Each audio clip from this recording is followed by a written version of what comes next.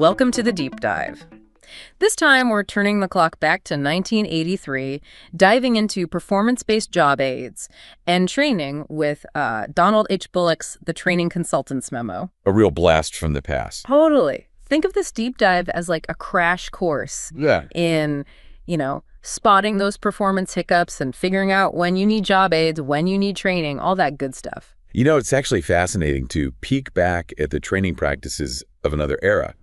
Bullock, who, by the way, was knee-deep in it at the Chesapeake and Potomac Telephone Company's Training and Development Department, structures his whole book as this self-instructional dialogue. Oh, wow. Yeah, complete with multiple choice questions and everything. It's like those old programmed learning texts, right? You read a bit, answer a question, and bam, instant feedback. Talk about a blast from the past. But um, format aside, it's amazing how relevant his insights still are. Oh, absolutely. For example, Bullock really hammers home that performance isn't just about doing the work, it's the results you get. Yeah. She sums it up with this, like, this really simple but powerful equation. Performance, behavior accomplishment. So it's not enough to just go through the motions, right? Well- You've got to actually see those accomplishments, those tangible outcomes. Exactly. Like he uses a salesperson as an example.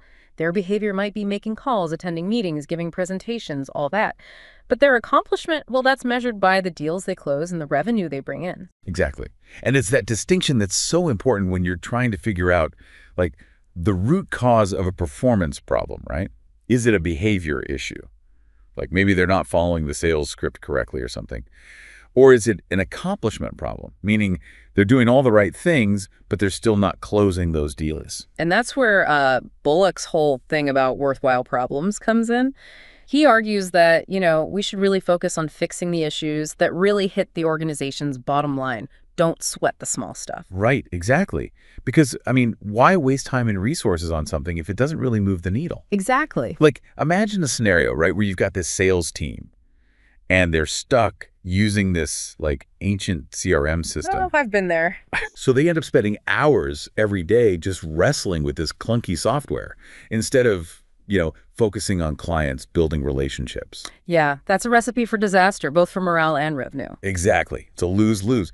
And in a case like that, simply throwing more sales training at them isn't going to help. You've got to address that root problem, the CRM system.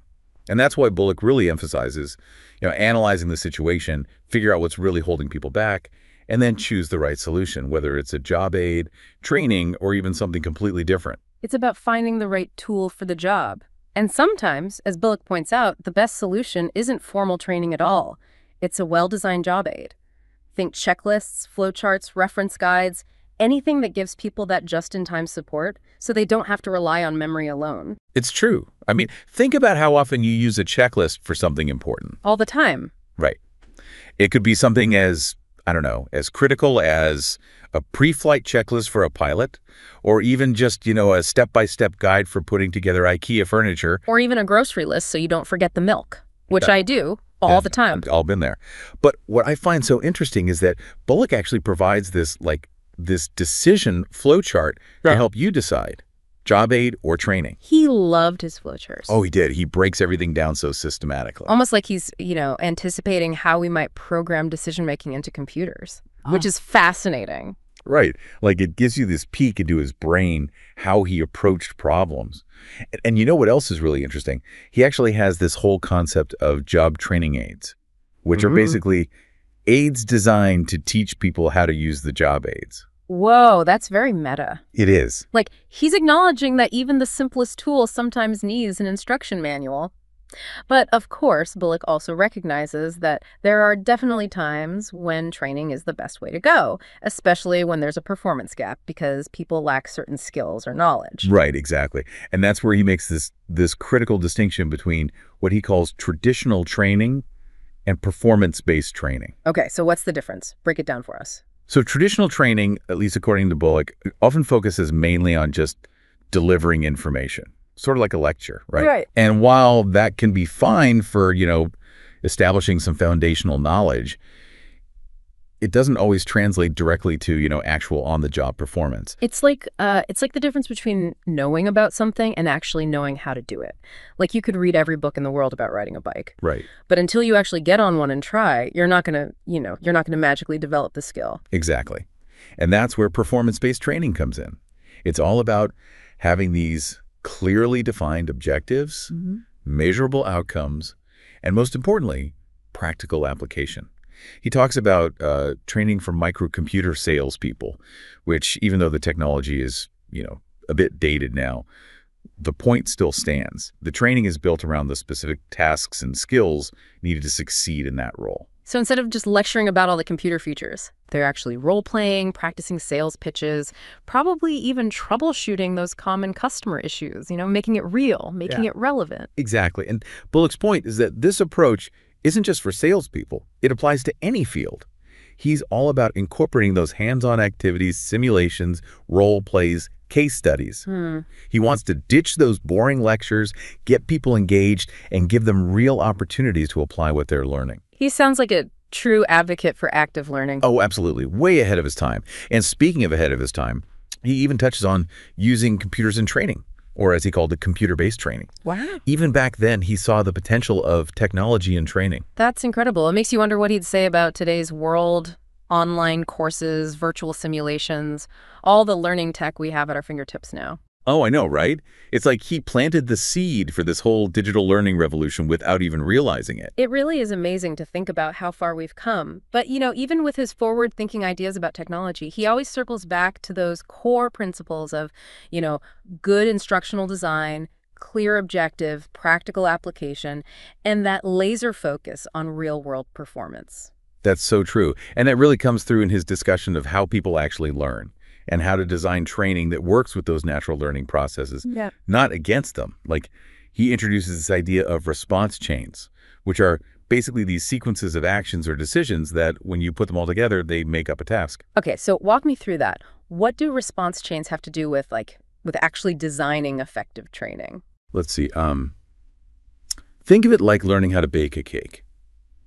Okay, so you wouldn't just take all the ingredients and dump them all in a bowl at once, would you? Hopefully not. Right. There's a specific order you have to follow, a set of steps to get that delicious cake. So that's essentially a response chain. So you're saying that if you want to teach someone how to bake a cake effectively, you need to understand all those individual steps, the cues that tell you when to move from one step to the next, the things you want to avoid doing so you don't end up with a disaster. That's it. You've got it. And Bullock's argument is that fundamentally, that same principle applies to training for any job or task, no matter how complex. You analyze the task, break it down into those smaller steps, and then you can design the training to support people at each stage along the way. Like you're creating this roadmap for their learning journey. But he doesn't just leave it there, does he? He actually breaks down these response chains into different types. You're right. He does. He talks about like fixed or procedural response chains where, you know, the steps are always the same, kind of like following a recipe or operating a piece of machinery. There's one right way to do it. And then there are these flexible or variable chains where the order might change depending on the situation. So something like, I don't know, troubleshooting a technical issue would be a more flexible chain, right? Yeah. Because the steps you take to resolve it will depend on the specific problem you encounter. Exactly. And that distinction is important because Bullock suggests that the type of response chain can and really should influence how you design the training. So for those fixed chains, you might lean more heavily on job aids, checklists, things like that, or really structured practice. But when you're dealing with those more flexible chains, you might focus on developing those higher level skills like decision making, problem solving strategies, or even using simulations where people have to respond to those unexpected challenges. It makes intuitive sense, right? Tailor the training approach to the kind of task people will be doing in the real world. Now, Bullock also dives into these concepts of stimulus discrimination and stimulus generalization, which sound a little bit uh, intimidating. Can you give us a refresher on those? Sure. So stimulus discrimination is basically the ability to spot the difference between two things that might seem similar and then respond appropriately based on that difference. Imagine, for example, a cashier who needs to be able to tell if someone is trying to use counterfeit money. Oh, yeah. High stakes. Right. Or a doctor who's trying to diagnose an illness, Right. and they need to distinguish between very subtle symptoms. Okay, so it's about recognizing those unique features, those telltale signs, and then reacting in a very precise way. So then what about stimulus generalization? That's the flip side, right? Right. So the stimulus generalization is when you learn something in one context, and then you're able to apply that knowledge or skill to a bunch of other situations that are similar. Yeah. It's like, you know, once you learn how to drive a car, Right. you can probably figure out how to drive a van without having to, like, completely start over. Right. You're transferring those skills to a different but related scenario. Exactly. And Bullock argues that both of these concepts are super important when it comes to designing training programs. So if your goal is that someone needs to follow a very specific procedure perfectly, with zero room for error, well, then you're going to emphasize stimulus discrimination. But if the goal is that you want people to be more adaptable, to be able to take what they've learned and apply it to all kinds of new situations, well, then you'll want to encourage more stimulus generalization. So it's a balance, right? You've got to find that sweet spot between precision and flexibility, depending on what the job demands. But, you know, training isn't just about what's happening externally, right? There's a Mhm. whole internal world going on for each learner, their thoughts, their feelings, their memories. And Bullock recognizes that too. 100%. He talks about how even if two people get the exact same information, they might respond in completely different ways just based on their own personal experiences, how they're feeling that day, what motivates them. Human behavior is complex. It really is. And you can't just ignore that complexity. You can't treat learners like they're just robots downloading information. Exactly. And this is where his point about conceptual behavior comes in. Yeah. It's our ability to look at something and understand not just what it looks like, but what it means, the deeper significance. He uses a chessboard as an example, which I always love. Oh, that's a good one. To someone who's never played chess, it's just, you know, a bunch of black and white squares. right. But to someone who knows the game, it's like each square represents all these possibilities, Oh, yeah. Potential moves. strategic advantages. Right. And that understanding, that deeper level of meaning, it changes everything about how you interact with the board, the decisions you make. Exactly. And Bullock's point is that for a lot of jobs, especially those knowledge-based roles, success hinges on that ability to think conceptually, to connect the dots, to grasp those underlying meanings and relationships. It's about understanding the why behind the what, not just memorizing a bunch of facts. Exactly. And Bullock argues that this has huge implications for how we design and deliver training. When it's about conceptual understanding, you can't just throw facts and figures at people and expect them to get it. You need to help them make those connections, to understand why something is important, how it all fits together within the bigger picture. Yeah. It's about fostering that that deeper level of understanding, not just rote memorization. Yeah. And I love that he actually gives you these concrete strategies for doing that. He has that great table in his book. It's like a cheat sheet for trainers that outlines all these different training methods and when each one is going to be most effective. Oh yeah, that's a good one. Mm. Want to teach someone to follow a step-by-step procedure? Use a job aid or a live demonstration. Need them to be able to tell the difference between two similar concepts.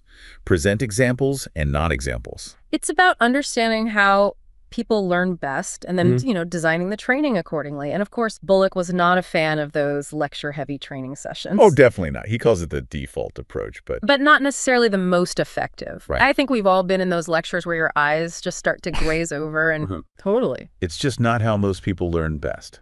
He was all about active learning simulations, role plays, case studies, anything to get people involved, get them applying what they're learning. And don't forget his emphasis on feedback, too. Oh, yes. Constant feedback. Not a one-time thing. He sees it as absolutely critical for motivation and for making sure people are on the right track. He even distinguishes between corrective feedback, which is all about identifying and fixing those errors, and motivational feedback, which is about reinforcing positive behavior and encouraging people to keep going. It's like having a good coach in your corner. They'll point out where you can improve, but they'll also celebrate your successes and cheer you on. But even with the best training design in the world, Bullock acknowledges that training alone can't magically solve every performance problem. He's refreshingly honest about that, that training has its limits. Right, exactly. He reminds us that sometimes the root cause of a performance issue isn't the person at all, it's the environment they're in. Interesting. Things like, oh, I don't know, lack of motivation, terrible working conditions, unclear expectations. Maybe they're just not getting the support they need from their manager. It's like trying to grow a plant in bad soil. You can give it all the water and sunlight you want, but if the soil is no good, it's not going to thrive. A perfect analogy. And this is where his concept of the performance environment comes in. He encourages trainers to zoom out and look at all the factors that play a role in how well people do their jobs. It's not just about skills and knowledge. It's also about incentives, the resources people have available, Yep. how clearly information is communicated, the feedback mechanisms that are in place.